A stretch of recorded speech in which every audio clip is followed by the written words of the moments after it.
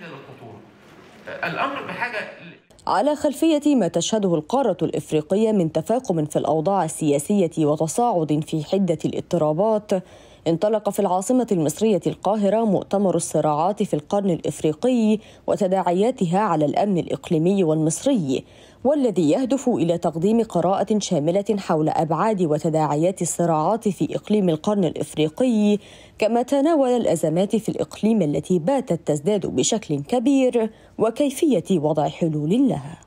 طبعا المؤتمر النهارده ليه أهمية كبيرة جدا في ظل الأزمات اللي بتحصل في منطقة القرن الأفريقي والصراعات.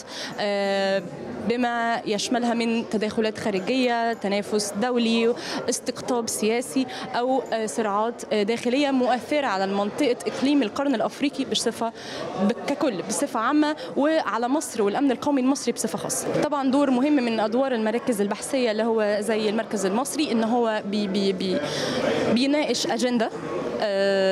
بيتم من خلالها التوصل لحلول للأزمات والصراعات اللي بتحصل في المنطقة. وطبعا التهديد اللي بيمث الأمن القومي المصري أو الدولة المصرية بصفة خاصة. وأشار الحضور إلى أن التدخلات الخارجية في شؤون دول القرن الإفريقي تعد عاملا أساسيا في زيادة الصراعات مؤكدين أن جميع الصراعات التي تجري في سوريا ولبنان واليمن والقرن الإفريقي لن تتوقف حتى تتوقف تلك التدخلات الخارجية.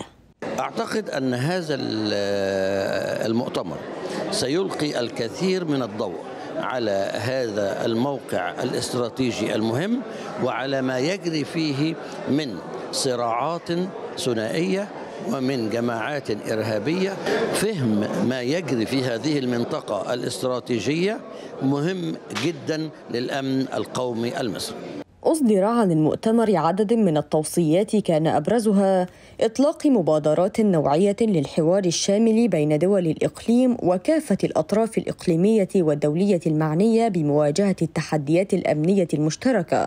إضافة إلى معالجة تبعيات الصراعات والأزمات التي يشهدها القرن الإفريقي. بمشاركة واسعة لخبراء الشؤون الإفريقية والعلاقات الدولية انطلق مؤتمر صراعات القرن الإفريقي لمناقشة الأسباب الرئيسية للصراعات الراهنة في إقليم القرن الإفريقي وبلورة سبل حل تلك الصراعات.